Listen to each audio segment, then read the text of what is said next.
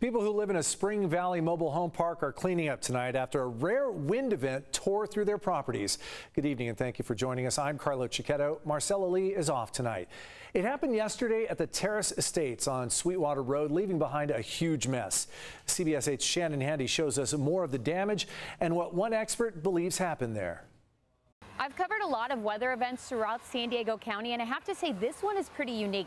At least five mobile homes here were damaged, and they're all in one little pocket. Nothing else was touched. Neighbors tell me they've never seen anything like it.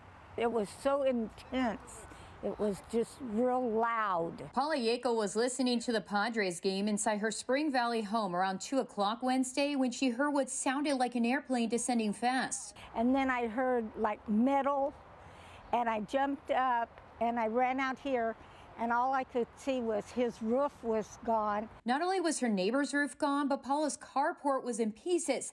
Some landed on her car, others went over her roof, landing on the other side. Del techo de la casa. Juanita Garcia, who lives one home down, had damage to her roof as well. Another home above hers is missing pieces from its side. Aquí Ali Enciso says she thought it was a tornado, saying her entire home was shaking. Casa tronaba, tronaba la casa. Ali also says when she stepped outside, she felt a burst of hot air in her face, and it was difficult to stand because the wind was so strong. Fuerte, fuerte, fuerte el viento. In total, at least five homes are damaged. The event also knocked down plants and garbage cans and lifted debris hundreds of feet. This picture shows items flying in the sky. Some wound up across Sweetwater Road. Here's a shot of crews clearing it up. Today, we spotted some debris left over, even in one of the trees. So, what caused all this? What an interesting day. Alex Tardy is a meteorologist with the National Weather Service. While some people thought it was a tornado or dust cloud, he says both can be ruled out based on conditions at the time.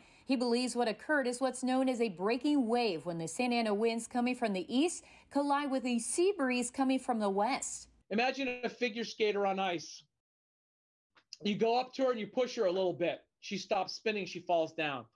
So when you have other forces on the swirl, it messes it up. Based on the damage, Tardy estimates the burst was around 50 miles per hour. He says it's a rare event west of the mountains, but because it was so hot yesterday, that allowed air to rise, which is prime for this type of thing. He received a similar report around the same time out of Vista, where a home and car were also damaged. Rising air goes up and forces that air to go back down in the same general area. Fortunately, no one was hurt, and the cleanup process is already well underway. I have insurance.